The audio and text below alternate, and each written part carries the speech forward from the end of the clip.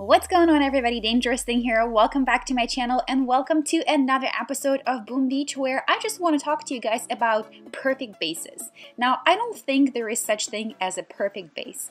Um, maybe there is such thing as a good base and a bad base, but I don't think any bases can be perfect because no matter how you lay it out, no matter what you think in the back of your head is going to work out and not, you know, someone is going to come in, they're going to evaluate your base, they're going to outsmart you and, um, you know, try to bring your base down. So today I wanted to show you some of the attacks that took place on my account in a few couple of hours, I guess. Um, and I wanted to talk to you about what bases I found to be, I guess, least uh, sophisticated, I should say. And I don't know if I have room to talk because I myself get rated all the time, but I just want to go over the layout of this base. It is, you know, a kind of very weird to me that all of the defenses are clunked up so close to each other. The player is only level 42 and 349 VP, so I don't know if he's trying to drop medals or whatnot, but I don't really quite understand why you would clunk so many defenses so close to each other because just one artillery shot and a barrage can take out so many of the defenses all at once without all too much effort. And so I am going to go ahead and grade these bases today based on the layout and I'm going to give this one a C minus because the way everything is placed is just not making much sense to me. I am not a very high level player and it was very easy for me to bring down the base so sorry but this base is going to be rated as or rated as C minus. All the defenses are way too close to each other and make very little sense. I was able to rate it with just 7 casualties and yeah basically that makes your base uh, I guess not so great. Um, very much imperfect, and I would not call it good. I would call it bad. So C minus goes to you, player. Now, let's take a look at Fabrizio.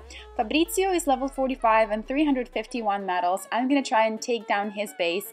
Um, and I'll do what I do at all times. I'll take out the rocket launcher first. And actually, what I've been thinking about lately is the trajectory of the barrage whenever you throw it. The trajectory is always different to me depending on where you um, aim, not where you aim, but basically where you tap on the um, attack, right? So sometimes there is slightly different angle and I've been trying to figure it out so that I can spend fewer artillery shots and I can take out as much stuff as possible with a barrage. But look at this base. Once again, defenses are very close to each other. I took out you know, some of the major defenses with a few artillery shots and barrages. And look at that. Uh, right now, we have nothing in our way as long as we take out the first two levels of uh, um, first two layers of defenses. I will be all set and ready to go. So I'm just gonna shock it and uh, keep going through the base, get into the HQ. Uh, now the Shock Blaster is sitting there nice and pretty, but I'm gonna throw some critters which are gonna distract Shock Blaster.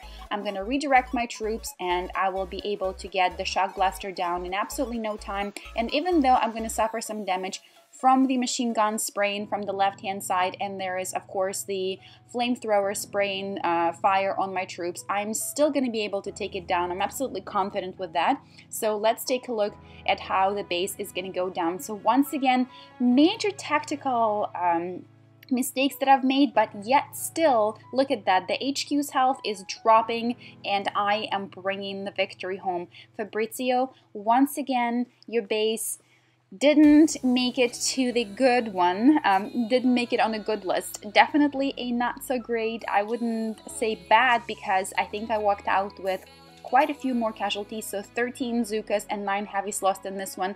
So better than the first one that I reviewed, but uh, nonetheless, I'm going to give you a C because once again, too many defenses are clunked up, too close together, and that makes the base extremely vulnerable.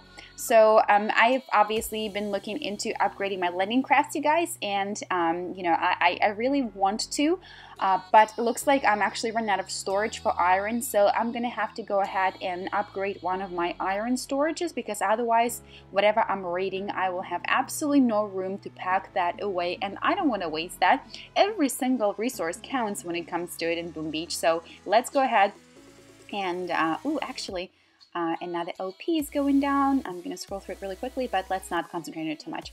Okay, and now let's look at a few of the uh, replays. I unfortunately wasn't able to record them live because I was too impatient and I did not want to wait until I was going to get in front of my computer. But this base here is getting a C as well. Look at that everything is so close together around the HQ, you know, corner base by the um, by the right shore of the base, and I am going to be able to get through it with no problem at all. And surely there is a uh, a laser prototype, but that doesn't do much to me because the, the, the damage is just so low. I believe when I unboost it, it's only 35 splash damage per second. So C, C, C, you get a C.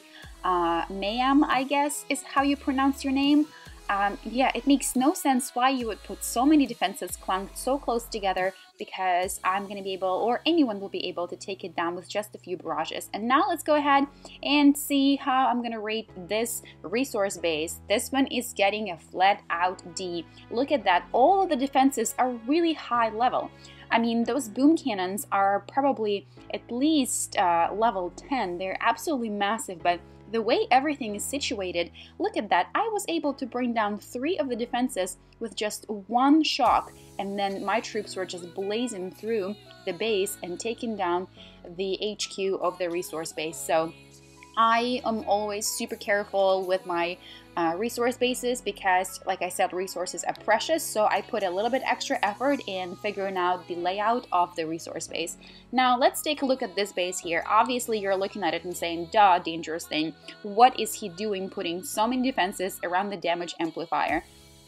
Damage amplifier is not my favorite. I feel that it's kind of useless because just like you're seeing here, you have to put all the defenses really close to each other in order to get maximum advantage of the damage amplifier. But on the other hand, while you're getting the advantage of amplifying the damage, you're also getting the disadvantage of you know everything being too close to each other and making your base very much vulnerable to just getting it shocked with one shock and being able to get wiped out. So this base is getting a flat out D.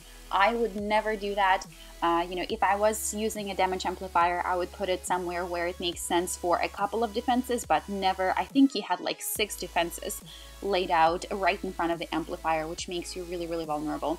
Now let's take a look at this replay here. This base looks, you know, very intimidating at first, but then you break it down and you realize that once again things are clunked up so close that with just a few artillery shots and um, and barrages, you were able to take out some of the major defenses. Look at that. We took out shock launcher, we took out boom cannon, and with just one, um, two shock blasts, I'm to call them shock blasts because I just feel like it, we're able to redirect our troops to the right hand side of the base where there's nothing but one mortar that's currently hitting all of my troops up. And so with absolutely minimal damages to my troops, I was able to complete this operation. So a few bases here today, you guys. Some are D, some are C levels, or I guess grades. I hope you enjoyed this video, and I'm gonna jump into the next one and do Dr. Terror. Until next time, Dangerous Thing is out.